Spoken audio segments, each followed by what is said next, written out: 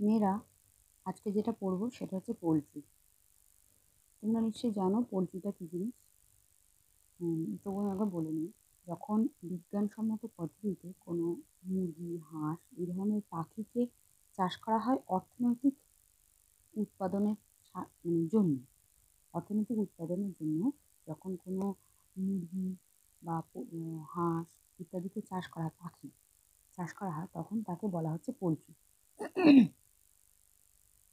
এই অর্থনৈতিক উপযোগিতার ভিত্তিতে মুরগিকে তিন ভাগে ভাগ করা হয়েছে। একটা হচ্ছে ডিম উৎপাদনকারী জাত যে তোমরা দেখতে পাচ্ছ, আর একটা হচ্ছে মাংস উৎপাদনকারী জাত, আর একটা হচ্ছে উভয় গুণসম্পন্ন জাত। ডিম উৎপাদনকারী বলতে যারা শুধুমাত্র ডিম দেয়, ডিম প্রদান করে, আর মাংস উৎপাদনকারী বলতে যাদের শুধুমাত্র মাংস পাওয়া যায়। যে সমস্ত মুরগি থেকে ডিম এবং মাংস দুটোই পাওয়া যায়, তাদেরকে বলা হচ্ছে উভয় গুণসম্পন্ন জাত। এইবার ওজন অনুসারে মুরগিকে দুটো ভাগে ভাগ করা হচ্ছে। এখানে দেখো লেখা আছে, ওজন অনুসারে মুরগিকে দুটো ভাগে ভাগ করা হচ্ছে। একটা হচ্ছে হালকা জাত, আর একটা হচ্ছে ভারী জাত। মানে যে সমস্ত মুরগি দুই থেকে তিন কিলো কেজির মধ্যে ওজন হয়, দু কেজি বা তিন কেজির মধ্যে ওজন থাকে, তার বেশি হয় না, তাদেরকে হালকা জাত বলে। যে সমস্ত মুরগির ওজন তিন কেজির উপরে চলে যাচ্ছে, তাদেরকে বলা হচ্ছে ভারী জাত। এরপরে হচ্ছে ডিমে তা দেওয়ার উপর ভিত্তি করে। তোমরা নিশ্চয়ই জানো ডিমে তা দেওয়াটা কী জিনিস? মুরগি তোমরা অনেক সময় দেখে থাকবে যে মুরগিরা ডিমের উপরে বসে থাকে, সেই ডিমগুলো তারপরে ডিম থেকে ছোট ছোট মুরগির বাচ্চা বের হয়। এই যে মুরগির ডিমের মধ্যে বসে থাকা অনেক দিন ধরে বসে থাকা, এটাকে বলা হয় তা দেওয়া। এই তা দেওয়ার উপর ভিত্তি করে মুরগিকে আবার দুভাগে ভাগ করা হয়েছে। সিটার এবং নন সিটার এই যে সিটার সিটার বলতে যে সমস্ত মুরগি ডিমে বসে তা দেয় তাদেরকে বলা হচ্ছে সিটার মুরগি। আর যারা ডিমে বসে তা দেয় না, তাদেরকে বলা হচ্ছে নন সিটার মুরগি। এইবার ধরো, পরীক্ষায় প্রশ্ন আসলো লেগ হর্ন কী জাতীয় মুরগি? তখন আমরা আগের পৃষ্ঠা দেখেছিলাম যে যে সমস্ত মুরগিগুলো আছে, ডিম উৎপাদনকারী, মাংস উৎপাদনকারী এবং উভয় জাতীয়, সেই মধ্যে, সেই তাদের মধ্যে ডিম উৎপাদনকারী জায়গায় আমরা লেঘর্নের নাম দেখেছিলাম। এখানে দেখো ডিম উৎপাদনকারীতেও লেঘর্নের নাম আছে, হালকা জাতের মধ্যেও লেঘর্নের নাম আছে, আর নন সিটার মুরগির মধ্যেও লেঘর্নের নাম আছে।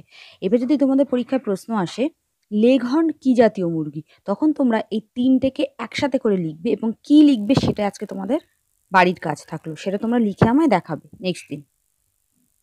এইবার এই মুরগি পালন করার পদ্ধতি দু রকমের আছে। একটা হচ্ছে ব্যাটারির খাঁচায় মুরগি উৎপাদন মানে মুরগি পালন, আর একটা হচ্ছে ডিপ লিটার পদ্ধতিতে মুরগি পালন। যেটা ব্যাটারির খাঁচায় মুরগি পালন, সেটা কীরকম হয়?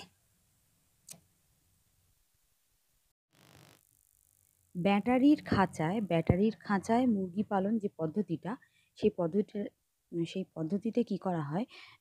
মুরগিদের জন্য ছোট ছোট খাঁচার ব্যবস্থা করা হয়। যেমন ব্যাটারির বাক্সগুলো যেমন হয়, ওরকম ছোট ছোট খাঁচার ব্যবস্থা করা হয়। যে খাঁচার মধ্যে একটা মুরগি অন্তত সুন্দরভাবে বসতে বা দাঁড়াতে পারবে। এই এই খাঁচাগুলো দেখো, এখানে তোমরা ছবি আছে, এই ছবিগুলো দেখলেই বুঝতে পারবে। লাইন দিয়ে লম্বা করে খাঁচাগুলো সাজানো থাকে। ওখানে দেখো, এই নিচেও দেখো, এরকম লাইন দিয়ে লম্বা করে খাঁচার মধ্যে করে মুরগি রাখা হয়েছে। এবং এই মুরগিগুলো সামনে মুখ বাড়িয়ে যাতে খেতে পারে, সেখানে এই যে দেখো এইখানটা যে একটা জায়গা করে দেওয়া আছে, এখানে মুরগিদের খাবার দেওয়া হয়।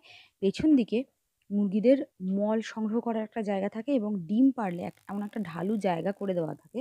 মুরগি যখন ডিম পারে তখন ওই ডিমগুলো নিচের পাত্রে গিয়ে জমা হওয়ারও একটা ব্যবস্থা করা থাকে। এবার এই যে বেশি মুরগিগুলো নড়াচড়া করতে পারে না ব্যাটারির খাঁচায়, তার ফলে কি হচ্ছে? অল্প সময়ের মধ্যেই এদের শক্তিটা কম খরচ হচ্ছে বলে বেশি ওজন এরা তৈরি করতে পারছে। এবং যে বেশি দেহ গঠন, দেহ গঠনে যে পরিমাণ শক্তিটা লাগে, দেহ গঠিত হতে গেলে যে শক্তিটা লাগে, কম খরচের ফলে এরা বেশি ওজনে তৈরি হচ্ছে এবং তার ফলে এদের স্বাস্থ্য ভালো হচ্ছে এবং ডিমগুলো তৈরি করতে সাহায্য হচ্ছে। ডিপ লিটার পদ্ধতির জন্য প্রথমে একটা জল আলো বাতাসযুক্ত ঘরের দরকার পড়ে। সেই ঘরের মেঝেটা খুব সুন্দর করে ব্লিচিং পাউডার, চুন এইসব দিয়ে জীবাণুমুক্ত করা হয়। জীবাণুমুক্ত মানে যে কোনো রকম জীবাণু না থাকে তার ব্যবস্থা করা হয়। তারপরে সেইখানে কাঠের গুঁড়ো, তারপরে শুকনো পাতা, বিভিন্ন শুকনো ফলের খোসা এইসব দিয়ে একটা বিছানা তৈরি করা হয়। সেই বিছানার মধ্যে মুরগিগুলো থাকে। সেই বিছানাটাকে বলা হচ্ছে লিটার। এইবার এই লিটারের মধ্যে যখন মুরগিগুলোকে ছেড়ে দেওয়া হয়, ছোট ছোট মুরগিগুলোকে রেখে দেওয়া হয়, সেই মুরগিগুলো দীর্ঘদিন ওই লিটারের মধ্যে ধরো থাকল, দশ দিন বা বারো দিন কি পনেরো দিন থাকল, থাকার পরে মুরগিরা পটি করে, তোমরা জানো, সেই পটিগুলো ওর মধ্যে মিশে যায়। মিশে যাওয়ার পরে মুরগিদের একটু অসুবিধা হতে পারে, তখন সেগুলোকে আবার নাড়াচাড়া করে দেওয়া হয়। এবং তার উপরে যখন আবার পাঁচ সেন্টিমিটার পুরু করে আবার যখন কাঠের গুঁড়ো ছড়িয়ে দেওয়া হয়, তখন সেটা স্থায়ী লিটারে পরিণত হয়। তখন সেই লিটারটা স্থায়ী লিটারে পরিণত হয়।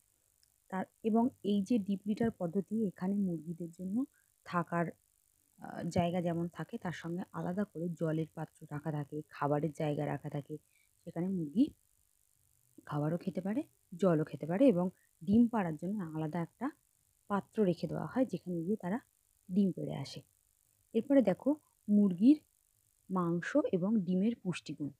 তোমরা একটা জিনিস জেনে রাখো যে কোনো প্রাণীজ খাদ্য, বিশেষ করে মাছ, মাংস, ডিম, এর মধ্যে প্রধান যেটা থাকে সেটা হচ্ছে প্রোটিন।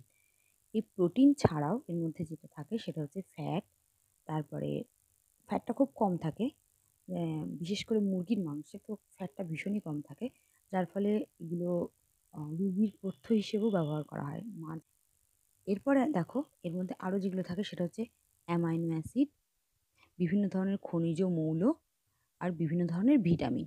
এই জিনিসগুলো কিন্তু মুরগির মধ্যে থাকে। এরপরে আসছি ব্রয়লার মুরগি। তোমরা ব্রয়লার কথাটা আমরা শুনি। আমরা সবসময় কী বলি? ব্রয়লার মুরগি।